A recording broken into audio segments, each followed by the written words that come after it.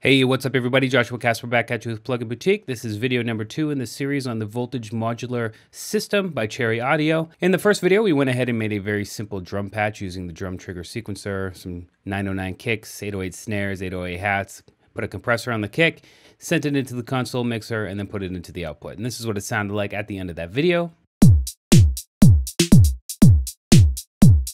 I highly suggest you start there if you're looking to get started with the system because you'll be where we are now and you don't have to worry about anything. So the next thing I want to do is add some compressors to the output of this little setup we've got here. So what I'm going to do is come into my effects over here in the search. You can see we've got processors, sources, so on and so forth. Um, if you come down to the bottom, we got effects. I'm going to add two compressors. And the reason why I'm going to add two compressors is because I want my output to be stereo because I'm going to be putting some delay effects coming up and then it's going to need that stereo signal. Otherwise, it's going to be mixed to mono. And, you know, obviously the output of the mixer is stereo and the output to the main outs is stereo. So we want to keep it stereo. So I'm going to go ahead and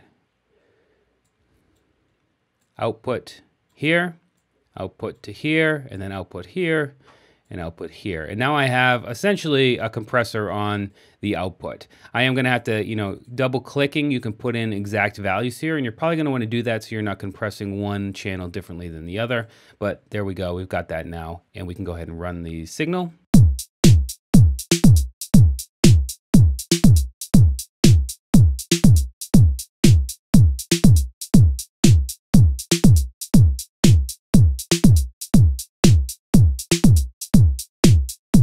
There we go, our compressor's set up. So the next thing we're gonna do is set up some auxiliary sends and returns here. So what I'm gonna do is put in some digital delay, what was it, digital reverb, sorry, and some delay.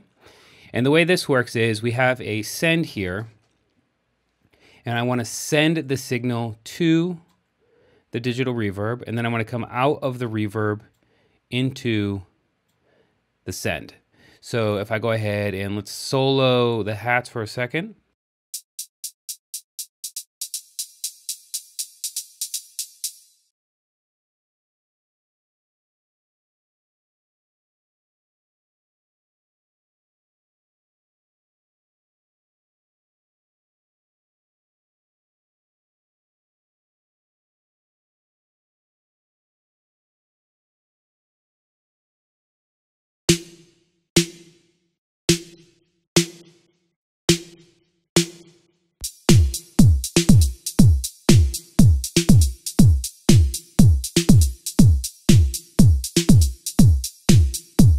And there we go. That's the very simple setup. That's how to get started. Again, this is what I'm trying to do here with these videos tutorials. Just get you started, getting noise coming out that you can then go ahead and go forth, putting your LFOs and modulators inside of these things because the system gets crazy. Uh, but I think starting with the basics is a very good place to begin. Otherwise, you're just going to load up a huge patch and have no idea what to do. Things can get quite overwhelming quite quickly, but starting with the ground up and moving up incrementally like this, I think is a good move. So that's the end of that video. Let's jump into the next one where we start using some filters, oscillators, and envelopes to trigger a bass line.